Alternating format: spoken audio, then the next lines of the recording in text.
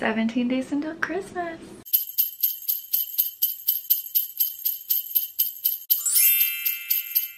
Good morning, Stanford.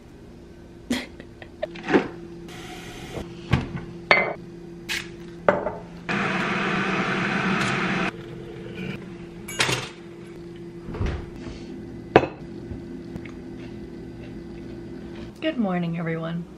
Welcome back. It's Thursday, another day to rule the world. So this morning I set my alarm for 9 and then I woke up and I was like I need like a little more sleep because I was having a bad dream. So I set my alarm for 9.15 and then I turned it off and decided to close my eyes just a little bit longer and then I didn't wake up until 10. So much for trying to reset my body clock but that's okay. It's about 11.35 right now so in about 15 minutes I am heading downtown to meet my friend Alex for lunch and I think we're gonna go get Mexican food which I'm very excited for. Hello Stanford.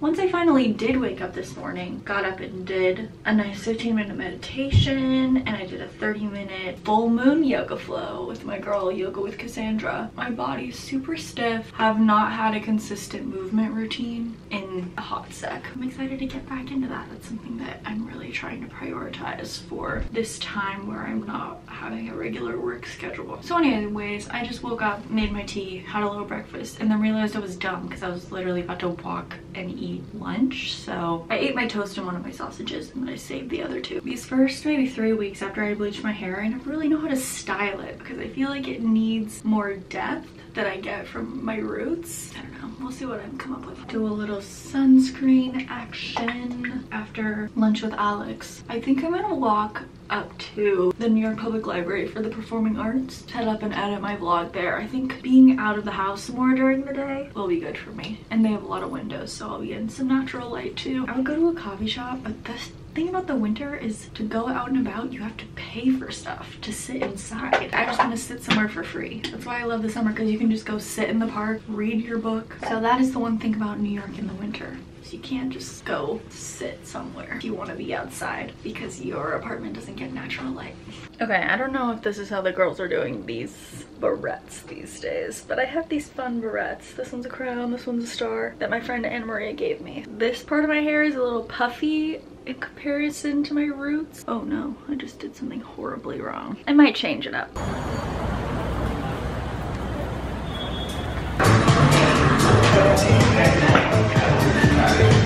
Slay. Slay. Traumatizing. ever, ever. Certified, approved tacos. Oh, yes. Eating this on Alex's feet.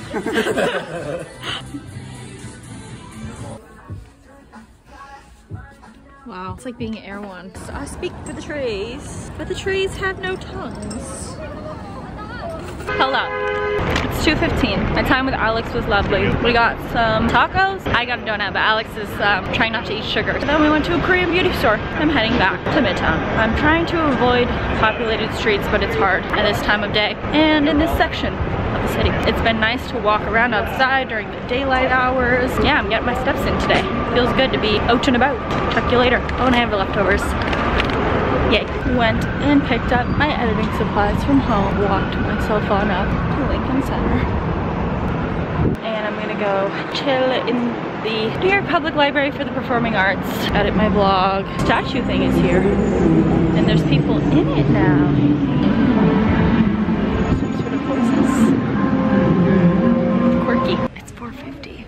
When I got here, to be honest. Maybe an hour ago? Truly have no idea. No, actually, I think it was 3.33 when I got here. It was. I've been here an hour and a half. Just finished editing and exporting and my computer's at 22% battery and there's no obvious outlet anywhere. So I'm just gonna walk home and do my uploading, which is fine because I'm getting a little hungry so I'll just have a snack while that's happening. Yay the vlog is edited. Can't believe that was already day seven. It's literally the 8th of December. Wild how time works. Um, there's a cute little Christmas tree over there, which is fun. There's really nothing like being in New York City at night. Look how pretty Lincoln Center is in the buildings. So lovely. As I was leaving the library, a person walked by with very cute yellow overalls. They were a little over from me and someone walked by them. And this man who walked by yellow overall homie said, may I just compliment you on your something something that I didn't hear and your sophisticated sartorial piece. And I was like, that was a weird thing to say to someone. I wonder if they know each other. A. B. What does sartorial mean? So I googled it and it means like a tailored piece. So was that an outfit compliment? Because if so, big vocab words, baby. Big vocab words. Also look, Yay! This is the David Geffen Hall, which is open now. The Met Opera right behind me. And this is where the ballet happens. The ballet. I really want to see the Nutcracker. That's a New York bucket list for sure. I'm walking back home to upload the vlog, to eat something, generally unwind for the day. My goal tonight is to go to bed before midnight. Because last night I went to bed around 12.30, which is why I didn't wake up till 10. Came home two and a half hours ago, 7.30 nine and sat right here and stayed here until now because I was finishing my book. All good people here. It was good. The ending was very abrupt. Yeah, it just ended. And the mystery was solved but then there was some action that you were like what? What? I don't know. I i didn't i liked the story. I loved the way it was written and the two timelines were weaved together. The ending didn't do it for me. Now i am watching Michelle Reed's video about her experience going off of the birth control pill. Boy oh boy do I wish that was me. But your girl does not want a child. The pill it is. I had a couple snacks. Mostly I just need to chug a bunch of water. So this video is 30 minutes long. My goal is to drink this by the end of the video. 32 ounces, baby. Locked and loaded. This is gonna be my palate cleanser. I might start the new Gossip Girl season or I might start another book. For now, let's go Michelle.